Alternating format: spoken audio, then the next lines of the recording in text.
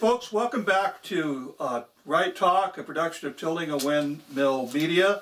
This is episode 12 for Thursday, February the 12th, 2015, and it's hosted by myself, Dwight Lilly. Today's topic is uh, Nevada State Senate Bills 65 and 81, and yesterday's hearings before the Senate Committee on Government Affairs. And I have a special guest here today, uh, Frank Maurizio, president of the Pahrump Private Well Owners Association. And uh, Frank and I and, and our friend John Basta, all three of us attended the hearings yesterday and gave testimony. And I thought that we would sit down together today and go over that hearing, uh, the problems that we see going on with the water situation here in the valley and how the county is handling that situation, how the uh, state engineer and the state uh, government, legislature itself is, is viewing this situation. And so we're going to start off here. I got ask Frank some questions. So the first thing I wanted to do is I want, uh, want you, Frank, and by the way, welcome aboard. First time you've been at, at Flight Talk. Why don't you tell the viewers a little bit about your background and uh, and how you got involved in this whole. Um, but how did you get get to Pahrump, and how did you get involved in the water situation? Well, we got here by my wife. She wanted to live in Las Vegas, and I can't live in brick walls, brick cells. Uh, you know, being a cop, you know, I look at those brick walls and it looks like a cage. But uh, we looked around in Sandy Valley, and she said no. So we came out here for a week, and she went through every model that uh, was being built at the time. And we decided on one model by uh, Mike Mead's uh, construction company. We had it built, and we're here. Well, what year was that that you uh, came here? How far back in history do you go? In for oh well, I believe we bought one lot, ninety-five. And then '99, we bought another lot, catty corner to us on back street, and that's when we came in April looking for the different models. And we decided, I decided on one model, I got tired after five days of going through models. I and we went through that. every building that was in this valley. Anybody that's married understands what you're going oh. I told I walked in. Well, she was going around with my brother-in-law. excuse me, my brother-in-law in uh, Las Vegas. So I got tired of sitting in the car after, I don't know what, the eighth or ninth model. So I walked in and I looked around the front door and I told my wife, this is it. And that's that's how we got here. So you got about 15 to 20 years time here. So you were here uh, about 10 years before you were here through the big building boom.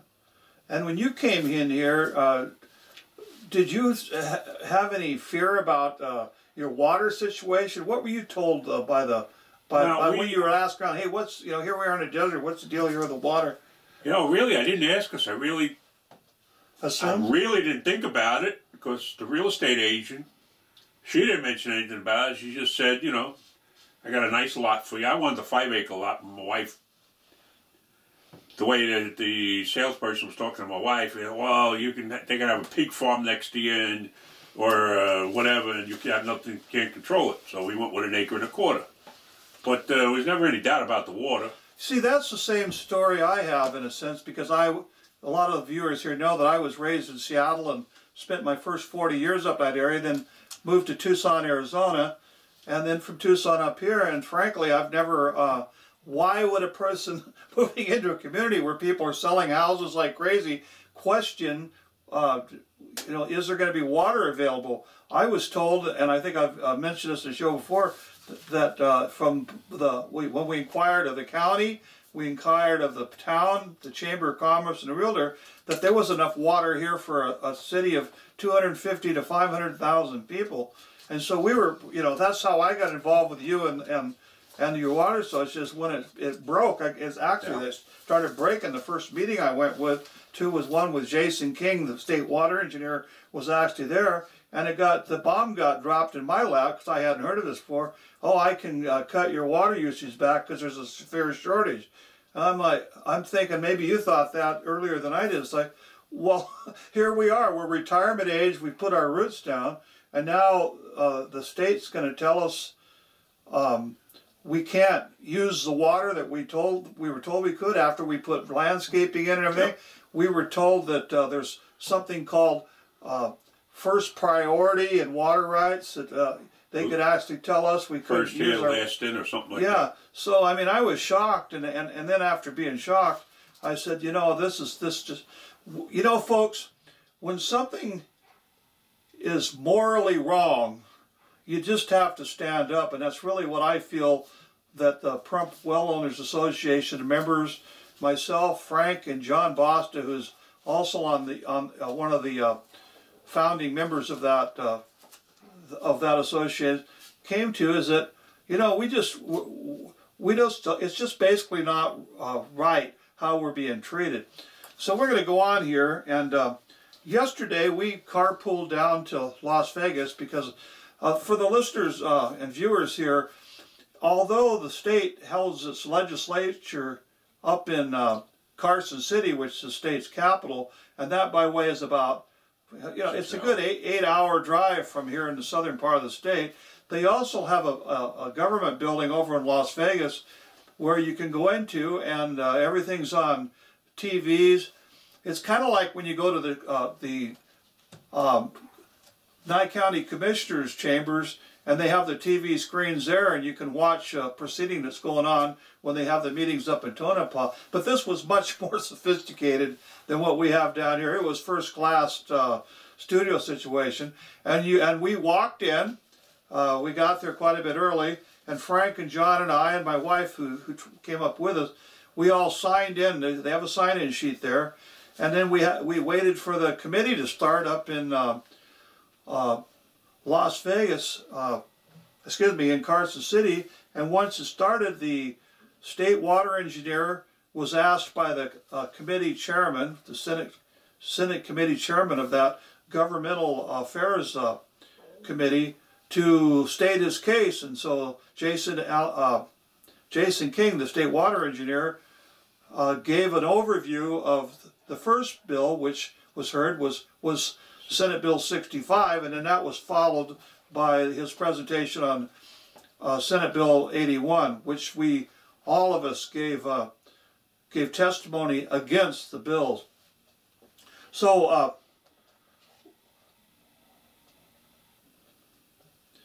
what was your view of the, you know, you gave testimony yesterday, Frank, and uh, I, I can't recall exactly what you said up there. So why don't you tell the uh, the viewers, so give a synopsis of what of what you you know what your gripe was yourself, and uh, each one of us had our own presentation. Well, what we tried to uh, convey to the commission is that uh, what they're doing is unconstitutional under the U.S. Uh, Constitution and the state of Nevada Constitution. So we sat down about four or five months ago, me and John Bosta, because John is a fanatic. He, I, you know, I trust his research more than I trust the lawyer's I, I can uh, lawyer's opinion. for that. So he started grabbing, cutting and pasting and researching all these Nevada Supreme Court here rulings, and we see a pattern over the last 110 years they keep changing, they keep upgrading the water bills, 533, NRS 533, 534. But they, yeah, the Legislative Counsel Bureau, or the LCB, doesn't include them rulings, or doesn't research those rulings and, and make sure that whatever the upgrades are to the law they want to change, or the proposals, that matches the rule of law. And that's what we're fighting. They, they are violating the rule of law. Mr. Jason King wants to become the water czar, as Mr. Dwight Lilly calls him. Well, I call him the water czar. I'll add something to that too. One another item that uh, John Bosta has in his uh, research is actual state Supreme Court, Nevada State Supreme Court rulings uh, that go back. Uh, uh, the water law, as far as I'm concerned, and, and the court decisions have shown uh, it's as clear as black and white uh, in the in the wording of the of the justice themselves that if you own a piece of property, you own the percolated water, which the, this is the water that's below the surface, down where the where the water, you know, when, if you're going to put a well in the ground, and the water molecules, in a sense, um, mix up with the sand or dirt or rocks, whatever down there, and they become indistinguishable and therefore part of the property itself.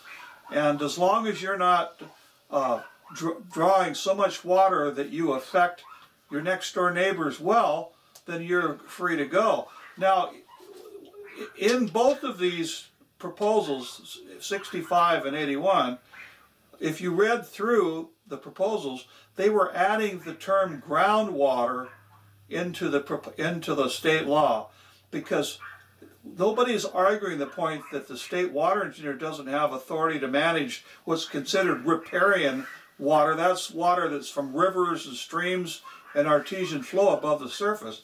But as I mentioned, the lawsuits in the past, he's never had any authority to control or manage uh, groundwater, even though he says he does. And in fact, yesterday he had his attorney uh, up in Carson City where the hearing was being held. She was asked, I think he might have asked her, somebody asked her to give testimony. She says, "Oh, the, oh, this is no, uh, you know, there's no question here. You have the authority to manage this."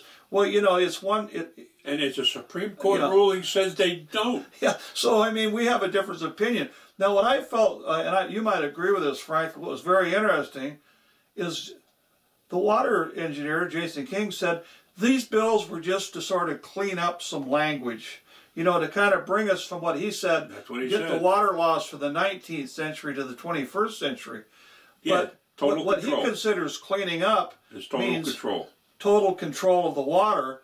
And since the water is a valuable asset belonging to a person that has the property, by him coming in and saying that I'm going to come onto your property, force you to uh, lessen the amount of water you're drawing, uh, you know, do any manner of changes without any due process whatsoever, acting as a, that's why I call him a czar or a king. It's Just called, it's by called, my edit, I'm going to force you to do this. And by the way, if you don't do it, I'll fine you ten thousand dollars for not doing it. And, he, and, this is just absurd. So, so let, us go on here. Minute, let me just try okay, to start something. What Dwight's talking about is called eminent domain. It's taking without compensation. So by legislator, by legislature, we're allowed 2.2 acre feet of water. He wants to cut us down to a half acre for the water. So he just wants to take it. That's you talking anyways between twenty and thirty thousand dollars. So this is, yeah. So that, that's unconstitutional. Now, now uh, it would be one thing if somebody was to come to me and say, Dwight, you know, I know you guys are settled in here and everything, but we need to build a freeway through your property or because we we we had this happen when I lived in in uh, in the Pacific Northwest in the Seattle Olympia greater area there. When they put the Interstate uh, 5 and Interstate 90 through the town they actually tore up people where people had houses to put this you know the freeway takes a lot of space. And all of those condemn they're called condemnation hearings were held and the people were paid the fair market value and, and any type of peanuts, you know, stuff. It is peanuts, but there is a process that they can yeah. do that. They're not even, uh, in this case, in these two bills, or from what I have, any intent of coming in and saying, listen, we need you to reduce water consumption. We, we recognize it's your water, and we're willing to pay you to do that. I haven't heard any anything about that. They would rather go ahead and just take it and leave us uh, sitting with our handout. Well, yep. you know, that's, and really, folks, and I know I've covered this in a lot of my um, uh, posts on my blog, which is Tilting a Windmill blog. I've written articles in newspaper about it, as as Frank and John, because we're not just broken records here. We have what we consider a valid grievance. And if you happen to live in Basin 162, which is the water basin for, for our area here in southern Nevada, and, and looked at this, you would say, well, you have a valid point too. You know, that, that something's about to be taken away from you. You can't just sit back and expect uh, it's all going to go away. Like uh, if I just put blinders on, the, the, the, the big meanies will leave, leave us alone. They're not. They are intent on this. Um, so anyway, Frank, I mentioned the uh, the Private Well Owners Association. what gave you and John the idea to start up this well owners association? What is the well owners association? And tell the uh, and uh, and then I want you to tell the viewers about the recent lawsuit that you and John Bosta filed against the state water engineer. Okay, about last year, uh, John started, you know, he's been doing research right along, but uh, a guy from Indian Springs, and not Indian Springs, uh, Silver Springs, that's uh, North Nevada, had called John, or John was researching something and seen the Silver, uh, Silver Springs co-op. So John gave him a call, and the, the guy called him back, and that's how the, that's how we started formulating the co-op. We followed their their line of thinking. So they have a co-op. Yeah, but it's not functioning too well. Ours is functioning, but we we have to we need members. Like Mr. Lilly said, you can't fight this alone. As a co-op, as a co-op with there's eleven thousand two hundred wells here. Even if we only had 2,000 members, you know what those 2,000 members of a, a, voting block can do? We can put our own commissioners in our areas. And then we can get back to we the people who rule the law. Not the way we're going now. You have three commissioners. One in the north doesn't care about us. She only cares what happens up there. You have two down here. If they had a half a brain, they'd be dangerous. We're not going to uh, Donna Cox and Donna Cox and Frank Carbone try, but they're always outvoted. So, but that's the idea. The votes. That's how you get noticed. So that's why I keep pleading with people: don't stop sitting back and join the co-op. It's only sixty dollars a year, and you're protected from the water czar. Okay, Frank. Uh, to to go on from there, uh, there's an application process people fill out and this is a, a, a non-profit organization. We are 501 c By the way, the two people you see, uh, and, and people have watched me before or read, I don't make a dime off of this. In fact, I'm staring right now at a, about $3,000 worth of, of video equipment and lighting and everything in here, even though it may not look like a, a fancy studio or not, because I'm really not set up in a in a building like a normal building uh, with a studio in it. We will, but I still got a lot of money invested here, and I'm not I'm not uh, complaining about that. And the hours that we all put in, we're all volunteers, and and and what's even more um, more important here, I think that you people here need to understand that watch this, and some of you have been watching across the country. I know you have. I've seen I see on my on my pages that you guys are are uh, writing in from I had people from Europe, in fact, write in. But Frank and I and John Bosta are all retired age people. We're really doing this stuff because number one, we believe it's right, and number two, where what's going to happen to our kids and grandkids and, and future generations in the valley here, which we all have become, in a sense, we're even though we're adopted members of Southern Nevada, now a, a, a residence, I should say. Now. We like it here. This is our hometown now, and we don't want to see our, our, our standard of living destroyed because of some some really bad uh, decisions. Now, what I know know from John, and you didn't you didn't bring this up yet, uh, and and what the viewers are not aware of, is that John Bosta actually was on one of the water uh, boards because the county commissioners here have established water boards that discuss these, these kind of questions. And John was the only person, uh, generally 95% of the time I would say, that actually would speak Question. up on behalf of just Joe Blow, uh, me, uh, Frank, you, just the normal people and, and bring points up.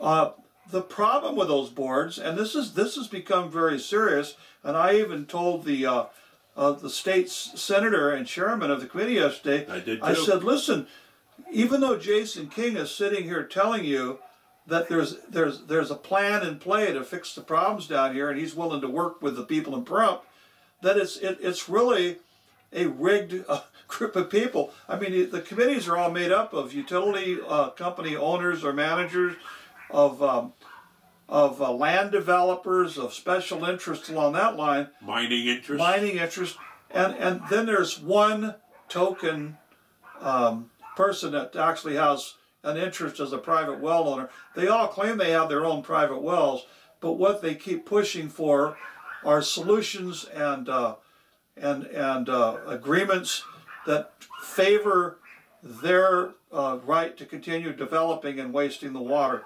at, at the at the uh, cost of uh, of private well owners. Yes. Because that's really what we're getting at here, folks, is that they want to, and, and you can see it if you ever. have been- I've been around a long time. You can see a train going where it's going to go, even though it's coming at you on the tracks. It might be right by you right now.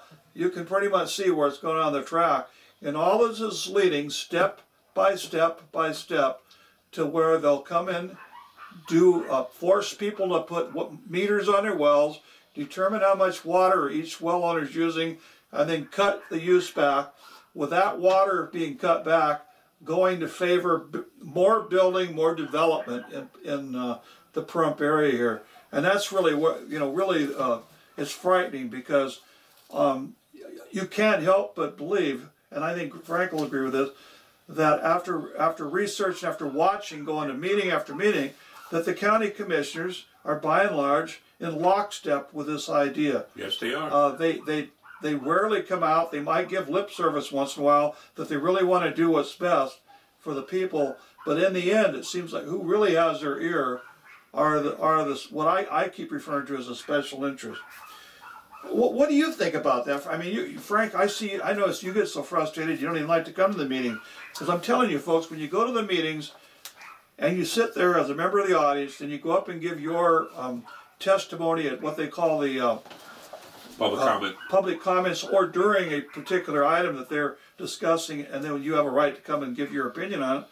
You just you just know you're just spinning your wheels. They look at you. Sometimes with just a disgusted look on their face, or a blank, look, sort of a zombie look, and then it's just okay. Uh, do I have a motion to approve? Do I have a second and a vote? And it continually comes up four to one or seven, six to one, depending on what committee is.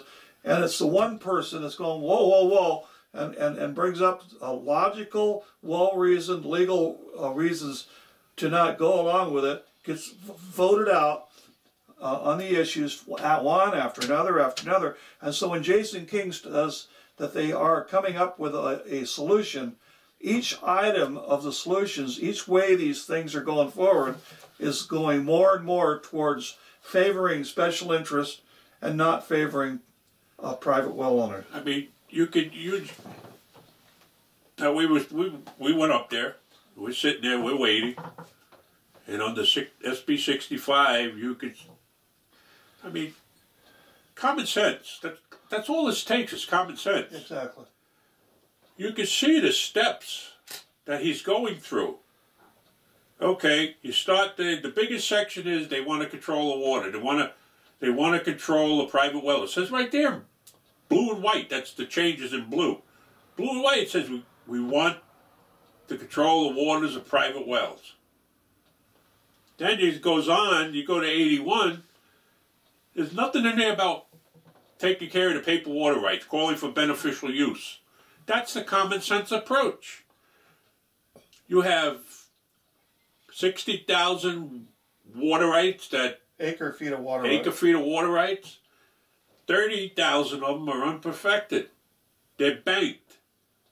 That's how these the good old boys save their water rights. They're banking them, and it's illegal.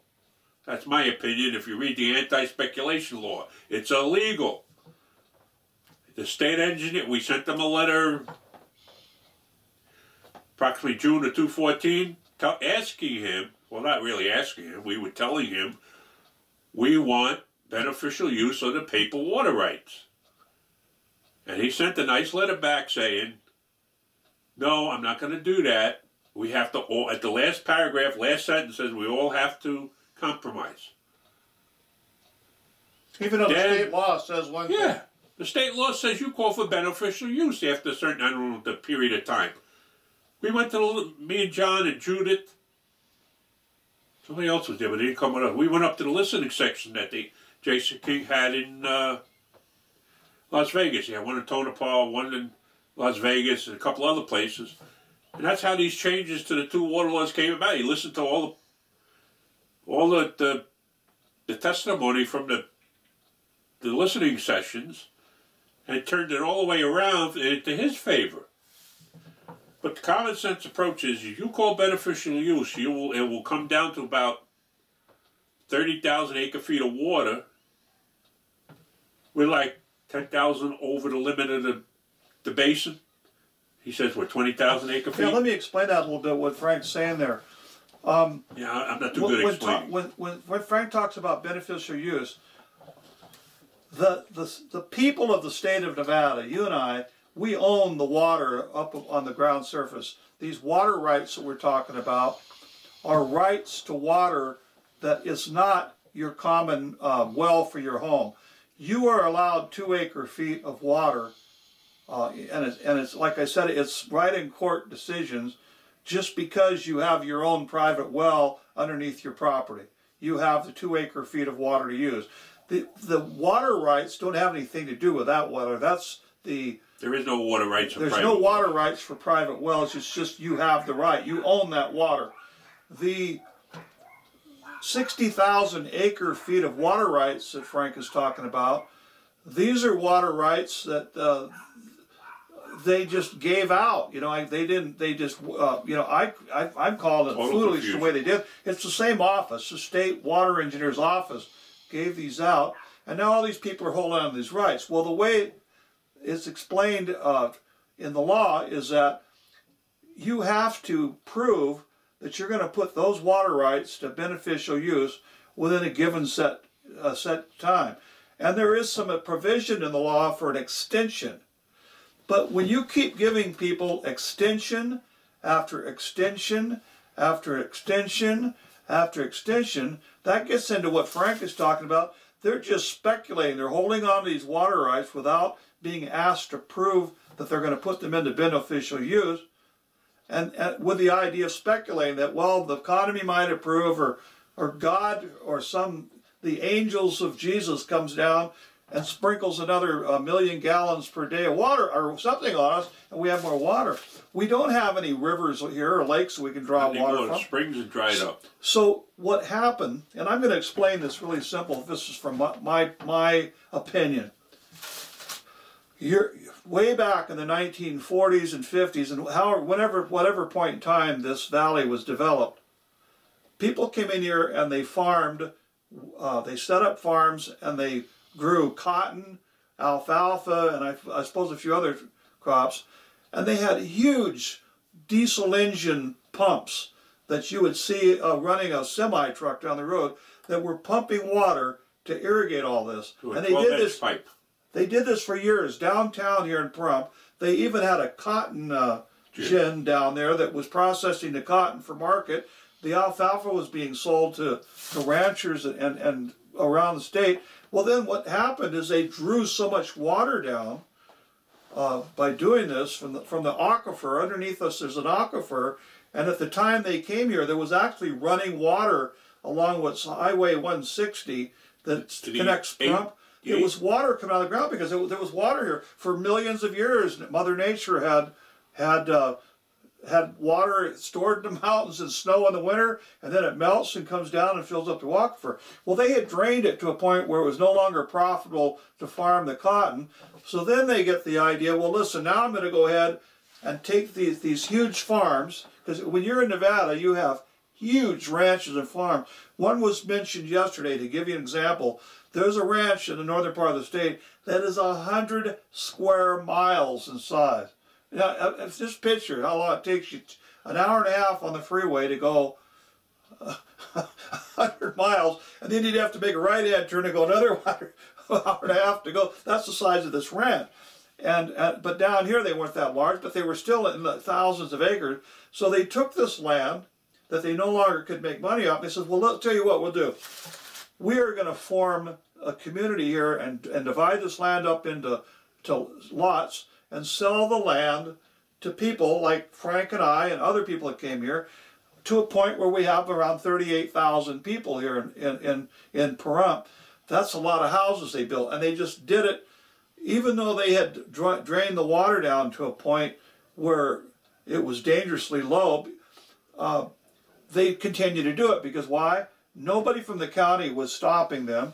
Nobody from the state water engineer's office was saying, hold on to your horses, uh, you know, cowboy. We need to take a look at the water situation, even though it's been known for at least a decade how really serious the situation is. So all this time, people are moving in. Nobody's telling them there's no water here. As I mentioned before, that I was told a city could be here.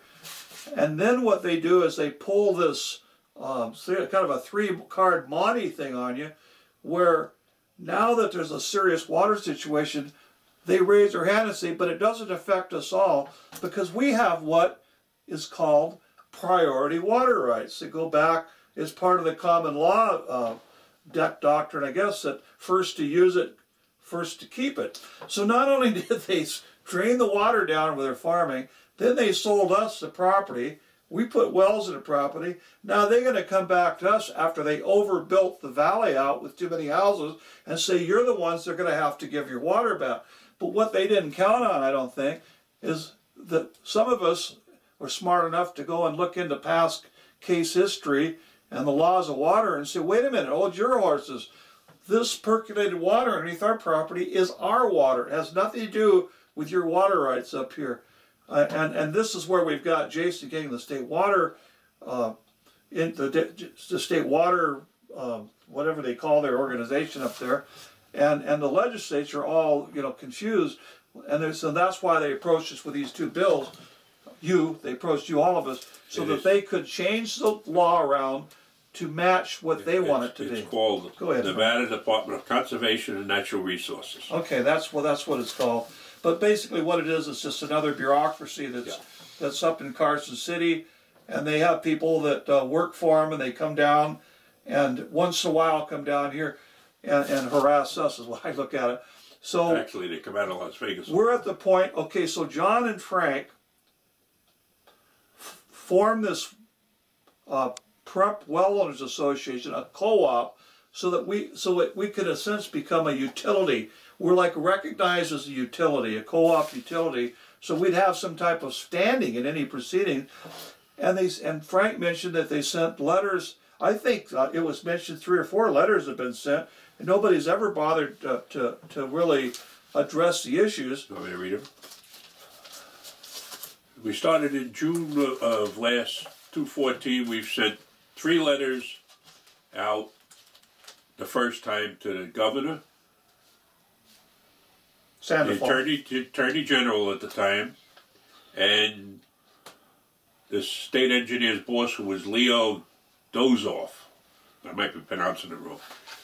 And we never received a an answer. So in August, Now, wait a minute. What did you put into the letters? What were you, give us just a brief, uh, brief synopsis of what was in the in the letters. What were you brief synopsis of what we were telling him is that the state engineer is not doing his job. He's not following the rule of law. I mean, it sounds like a broken record, but it's, but that's you know, that's just where it comes down to. You're supposed to call for beneficial use, and he's not doing it. And as uh, Dwight said, he gets they all the water right holders are getting extension after extension, and that started in 1982. When's it going to stop? This is 2015. How many 2015. extensions do you need here? You know, that to where you should have to be said, listen, I'm either going to uh, use the water rights or I'm going to surrender them back to the state. But they're, tr- but it, it's it's a can of worms. So anyway, nobody wants to go to court. You know, I mean, you get the, the lawyers involved; they're expensive. But Frank and John, on behalf of the Well Owners Association, filed a lawsuit um, uh, just a week or so ago February 2nd. naming Jason King, the state engineer, uh, in his personal and prof- official capacity. And, and basically, I mean, this, now I'm going to tell you folks, I read through this lawsuit. I just got it yesterday, a copy of it. And uh, the research, when I'm talking about case history, constitutional uh, laws, both federal and state, and just on and on. All of it, uh, all of what in a sense is our our uh, what we believe to be the our legal rights to owning our water underground is covered right here in this lawsuit, case by case.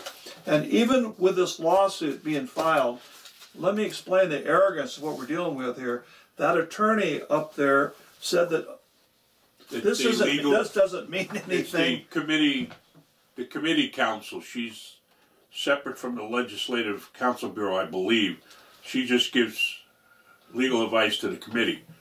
She stated to the chairman that, because we, I asked the chairman if he would at least don't vote on this stuff until after the March seventeenth hearing. But he said this is probably gonna go way past that. So anyway, she said to him that our lawsuit does not affect what they're doing on SB sixty-five and eighty-one. Now, I wrote a letter to the chairman last night, being polite. I told him, thank you for letting us testify, blah, blah, blah, blah, blah.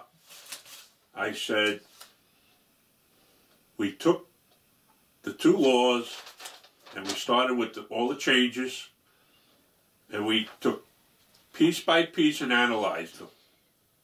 And then we went out and took our research and applied it to the, the analyzed sections. So how can she come back and say that it doesn't affect what they're doing? So there's two things I told Mr. Goicoechea last night in an email. I said, number one, she didn't read it and understand it, or she's just telling you what you want to hear. It's amazing, folks, when It's you when it's you really when you, when you go to these committees that we're talking about, and when you listen to testimony like that given by this attorney, when you listen to testimony given by a very well-educated man, uh, Jason King, I will say he's polite. His assistants are polite. They're they're they're they're actually likable type folks, but they have it in their mind that that and and they admit he they freely admit that they that they made a huge mistake in issuing all these water rights, and so how they intend to fix it It's on the back of the is on the backs well of the private well owners. We have a gentleman here, another person that's a, uh, I don't know if anybody knows water uh, and law d- dealing with water here in Nevada more than John Boston does, but Kenny Bent uh, is another. Uh, he's been involved for years. I think Kenny t- told me he's lived here about 30 years in this valley here, so he's got a vested interest on it, uh, like the rest of us. And he's uh, again another guy getting up retirement age and everything. And uh, Kenny Bent basically told the county commissioners, we are nothing but low hanging fruit. That's the way we're being treated here. That we're the easy people to just step on. We're going to solve uh, Basin 162 because we're we are uh, the the main focus, I believe, of both of these these uh, rewrites of the laws that they're doing we because we are a problem that they created. The state water engineer created the legislation, the governor, uh, all have allowed to fester because they wouldn't they wouldn't uh, uh, use the state law in existence to do something about the overdevelopment in the valley here.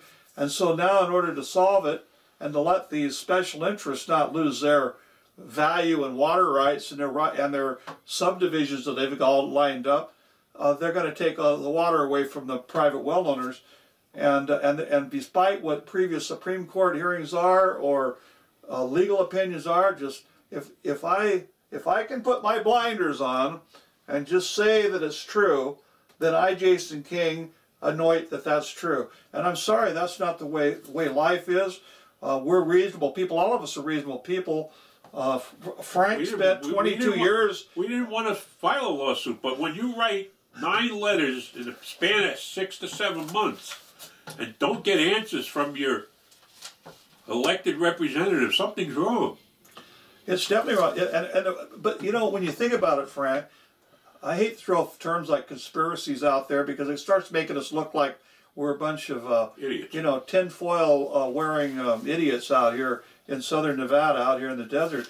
But you you just get to, to the point that you realize that no matter what you say to these people, no matter what proof all of these previous lawsuits have told you know are in your favor say going all the way back to U.S. Constitution law.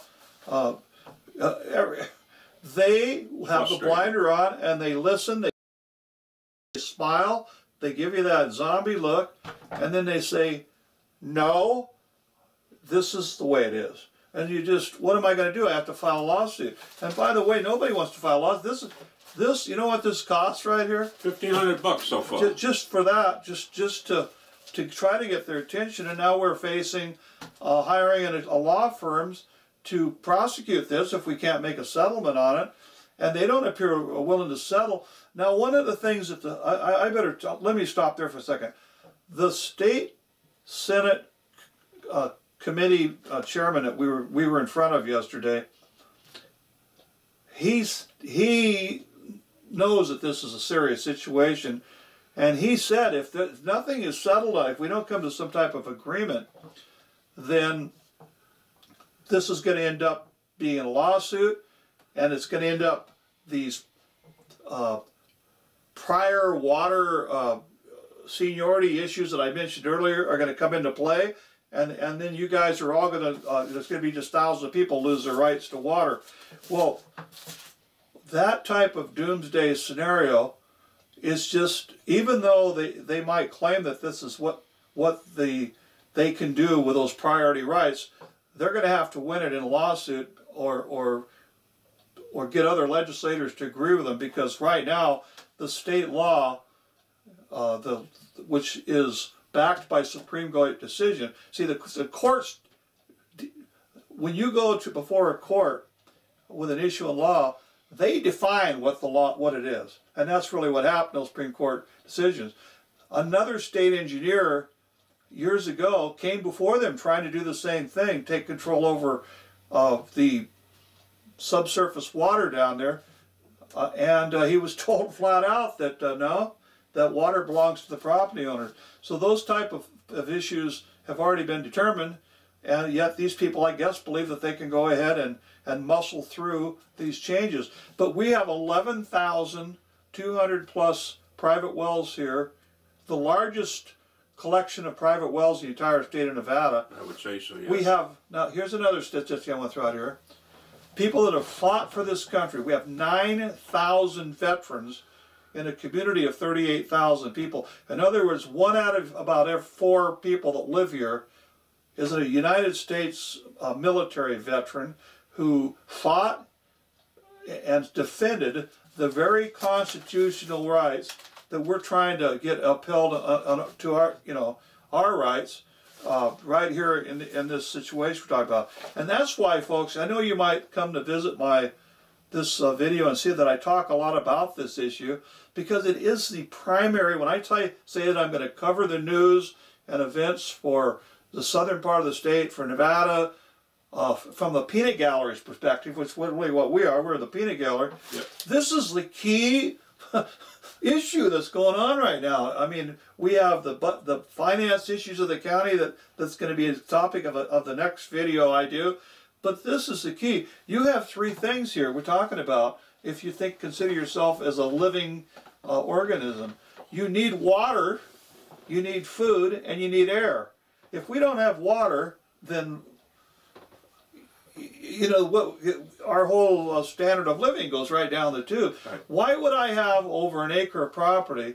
Why would people have 5 10 20 acres of property in the middle of the desert if they couldn't enjoy it and the water underneath it so that they could uh, have some horses out there and water the horses or have some trees? I think i mentioned this before. Uh, the dust here gets horrendous. You have human activity goes on and through that activity you have pollution and dust we're in the desert the soil's been disturbed because they went ahead and leveled the land and got all these other developments they want to put in ready. And now every time it blows, it gets this dust going in the air. So people plant trees like I did. Uh, Frank's got trees up at his place just so that we can help mitigate some of the dust and, and not affect our health. So it, it's a major issue here. And uh, I'm going to go into one other uh, thing here. I uh, I was astonished yesterday because while we were there at the meeting, and in the case of both bills, SB 65 and SB 81, there's a point at the very beginning where you have to state whether you're for the bill, against the bill, or neutral. And at that point, we came forward because we were against it, but people came forward neutral. Not, I didn't see one person, I believe. Maybe there might have one the whole hearing that came said he was for any of this, but everybody else was neutral. But it was Neutral attorneys, against. representatives. Listen to this, folks. Attorneys and representatives from every single county in the state except for Nye County, for every single major community in the state, except for Pahrump. And, uh, and I was astonished. I, I kept waiting for somebody from Nye County because right now the town of Pahrump, as you know, is under managed, it's being governed by the county. There was nobody there. I, I kept expecting, I thought, well, we have a district attorney, Angela Bello. She'll be the representative that, that'll come forward. No Angela Bello. And I was just going, this is really interesting. Frank, John, I, and myself are the only people here from Nye County, and yet almost every sentence out of the, out of the chairman's mouth was dealing with Pahrumps water situation. This water district's water situation. Per, the, the term Pahrump must have been used 50 times yesterday. So there's one person, he does live in the county, his name's Oz Wichman, and he was testifying from up in Carson City, and he has consulted and worked with the water district board down here. But in his testimony, now listen to this very clearly, he came up, gave his testimony, and said, I'm here representing myself as a citizen of the state And county. Not representing Nye County, not representing Pahrump, not wa- representing the water district. And what Oz was focused on, and what a lot of them was focused on, was how the state law change here in this in these two bills would affect wild some provision about water for wildlife, like horses and burros, I guess snakes and turtles or whatever We don't lives count. on the well. But because and that isn't really an issue here if you're living in a town. But that was what a lot of those people were like. How are this language going to affect that? How how is it going to be if because like Oz mentioned one part in the law it said that they would if you were within a thousand feet of a utility company, then you could be forced to hook up to a utility company. 180. Huh? Right now it's 180. Yeah, right now it's 180 feet, but they want to make it a thousand feet. So in other words, where I live here, uh, out here in the south end of Pahrump, it would be all, almost like from here down to thousand air. I mean, it's a long ways. A thousand feet would be that if they happen to put the utility down thousand air, then I would have to hook up to that utility. Now Oz has water experience, so he is an expert witness, and uh, he said that using an eight-inch pipe all the fittings and everything you'd use, the figure is about forty dollars a foot. So if they were to have that uh, language in the bill, which you would think would be very important to the town of Pahrump uh, and uh, Nye County, it would cost me forty thousand dollars to hook it up. To forty thousand dollars. Everybody in the audience is going forty thousand dollars, and all these uh, lawyers and uh, and county representatives that were there and sound representatives, they were concerned about that. But that shows you how critical this this is when we start talking about changing Can laws. And yet, not a single person uh, represented the people of Nye County or the people of Pahrump, except John and Frank from the Private Well Owners Association, myself as a private citizen, and so I looked at the. It was getting towards the end of these hearings, and I looked at the uh, the uh, committee chairman. And I says, I think it's pretty clear right now that we're not going to have anybody from Nye County or Pahrump. I'm paraphrasing the words I use. Is going to be here, so I want to be on the workshop you're talking about because I have such serious issue here. I want the wording of whatever comes out of these laws to um, defend, protect my uh, my asset, my water underneath the ground. Whatever we work out, I, I want my legal rights protected. And so the committee chairman said, "Yes, Dwight, you can be on the workshop. Welcome aboard." And then I believe it was either John or Frank I did. was it you? Uh, stepped forward and says, well, yeah, we want to be on the workshop. So right now, if you live in Nye County, the only people that have, have officially, at least at the hearing, been invited to the workshop that's going to deal with this law is one private bald old citizen here, Dwight Lilly, and and one uh, and two people and their and their private well association. So this is you know, I, I just find that astounding. I don't know who dropped the ball on it. Um, but if they do happen to say, "Oh, well, we had Oz Wichman there," I just wanted to let you know that no, you didn't, because his testimony is is available on video. If you want to go to the state website, legislative website, watch the hearing for yourself yesterday. He isn't talking about anything about uh, down here in Nye County. So, what do you think about that, Frank? Okay, first of all, let's get back to Oz and his forty dollars a foot. Now we have a situation here in one of our developments called Artesia that uh, Hafen put up, Mr. Hafen. That has an eight-inch pipe going through the whole development. It's too small. So right away, I disagree with his forty dollars a foot.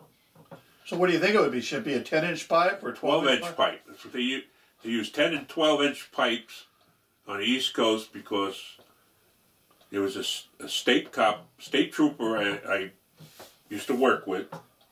As I did accident reconstruction, he used to be in the uh, uh, truck division. They used to inspect trucks. But his son works with the uh, a water contractor. They fix broken mains and. And all the pictures, you see them on Facebook. I one. Yeah. There's nothing under a 10 inch pipe. So I disagree with Oz on that point. Okay, so say it was sixty dollars a foot because the pipe diameter is bigger, the fittings are bigger. Now I'm talking about sixty thousand feet dollars Yeah. to hook up a thousand feet from here. That's Now these are the reason why it's so critical, and I keep telling you folks this, that you need to contact the Pahrump uh, Well Owner Association.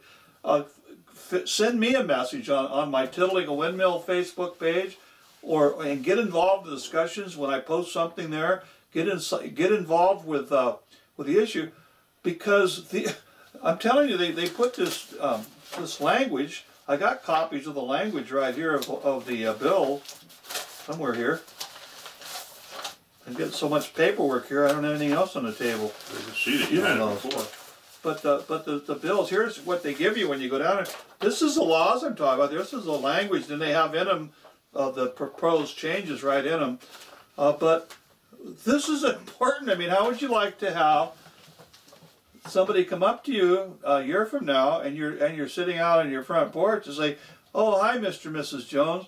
We're from the uh, county and we're here to tell you that um, you have to hook up to Utilities Incorporated because they've now extended a trunk line a thousand feet from your property, and you're sitting there with your septic tank and your uh, private well, and you're going, "What? What's all this about?" Well, the what's all this is about is what I'm talking about here. It's because this is where it's being handled. Now, if that that particular provision happened to be put in this, this new law, you, they would you would legally be required to hook up. And you'd say, well, well, what am I going to do? Well, now in Southern Water Util, I think it's Southern Water District or Southern Water Utility District, which is in Clark County, Las Vegas area.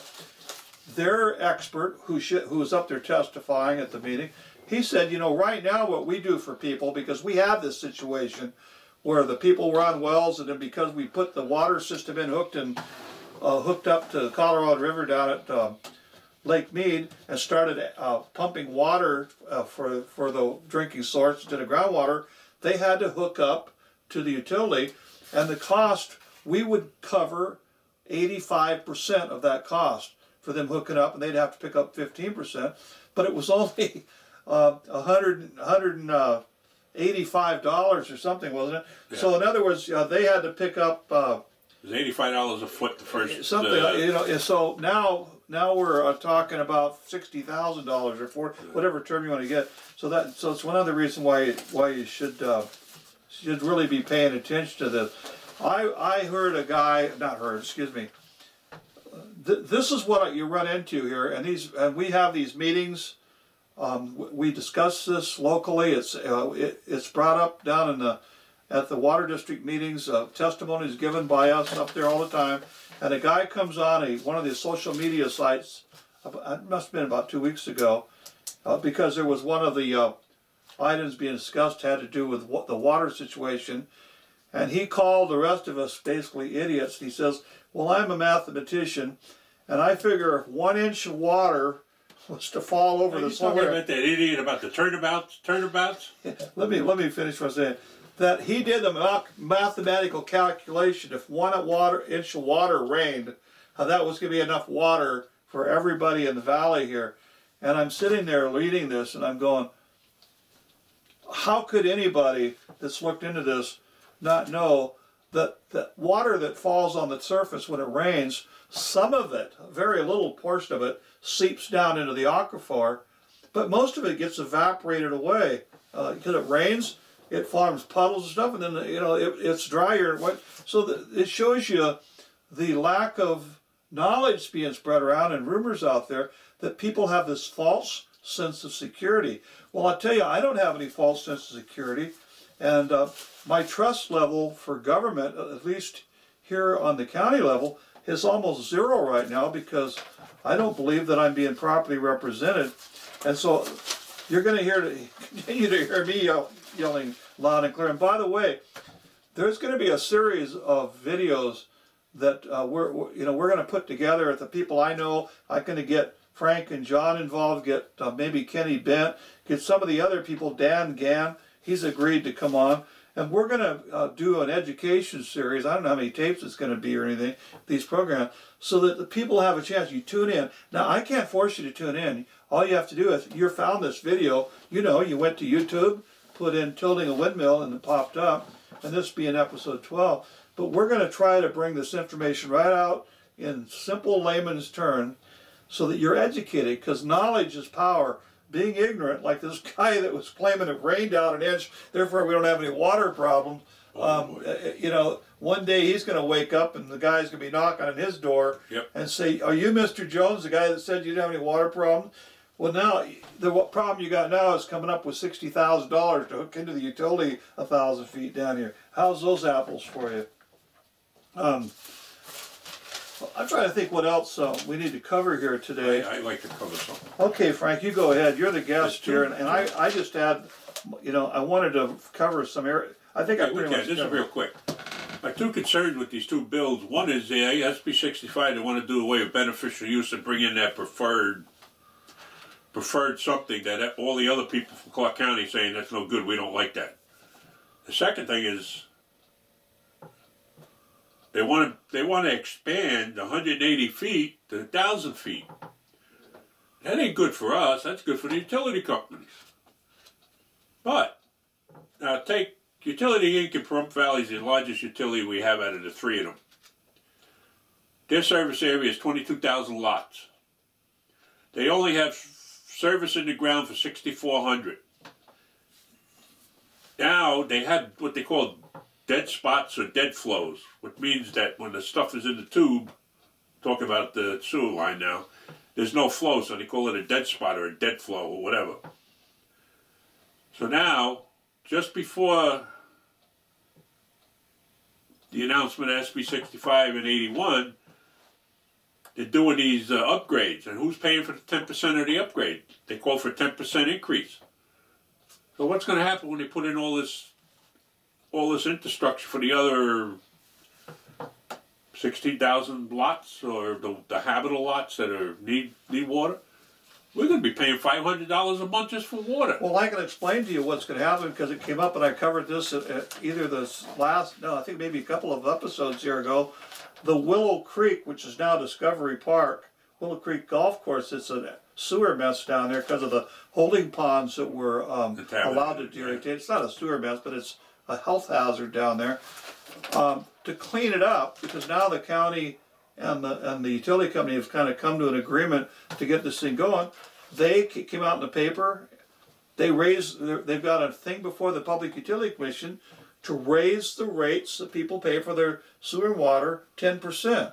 So in other words, if you're paying hundred dollars, now you get to pay one hundred and ten dollars a month. And if you're on a fixed income, uh, then come up with another ten. I guess don't buy some of your medicine or whatever you've got to do. But but you can see when it, when what Frank's saying is, as they want to expand these utilities out, and they have already like like we covered already in this in this uh, episode, they're illegally, as far as we're concerned, banking these water rights that they have, so that they can expand. You, the customer that they expand in, you, the person who has a private well and septic system, will be told you have to shut that down. And as Jason King said yesterday, they want to make you cap it off.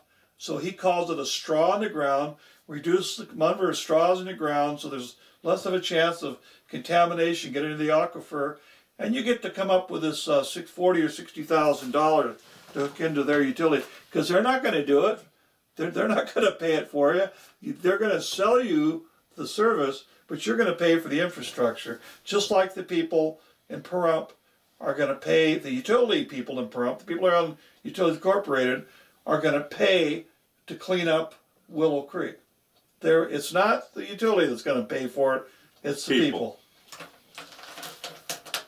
So, I think that's about all we have uh, right Yeah. now, and I appreciate you folks turning in. Um, I'm going to have another program.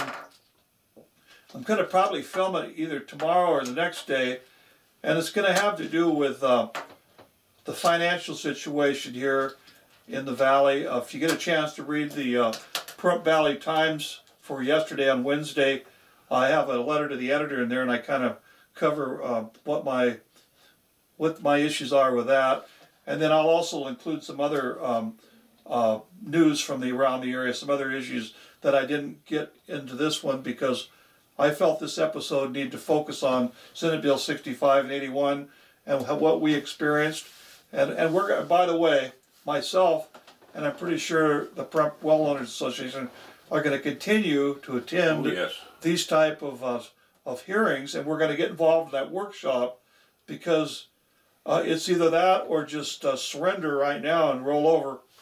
And uh, so next time, folks, uh, thanks for tuning in. Goodbye now.